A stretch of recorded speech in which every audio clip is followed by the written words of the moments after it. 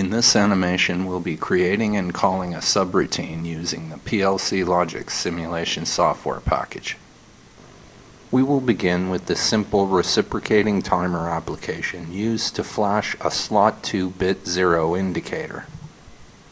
The flash rate is determined by the preset value on the flash on and flash off reciprocating timer elements. Our objective in this exercise will be to add an additional flashing indicator in the slot 4 bit 0 location. This will be done by way of adding a subroutine to the existing mainline program. We will now add the subroutine to our mainline program. To do this, we select Main Program as it's the location for the new routine. Next, we right-click on Main Program to bring up the context-sensitive pop-up menu. From the menu, we select New Routine to bring up the New Routine dialog box. We now simply type in the desired subroutine name into the name field located in the new routine dialog box. Once the desired subroutine name has been entered, we click on the OK button to complete the creation of the new subroutine.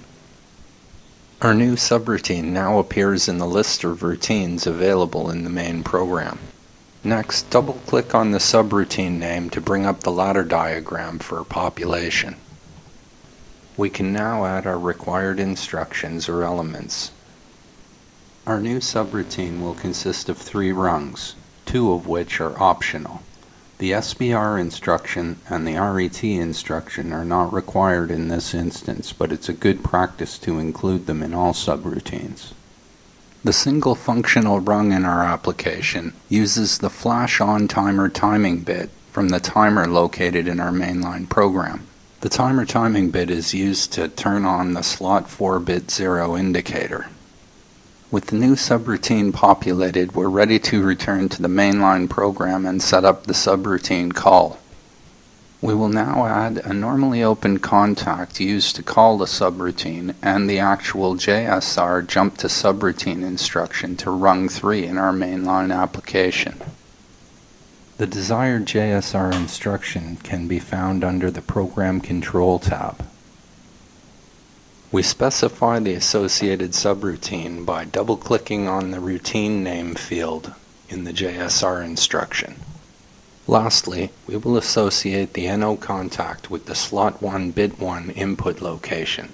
This location will be used to enable the subroutine during program execution.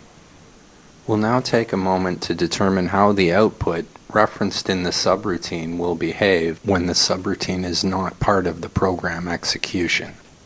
It's important to note that when a subroutine is being executed, the output responds as if it was part of the mainline program. However, when the subroutine is not being executed, any outputs that were active or inactive will remain in their current state until the subroutine is being once again included in program execution.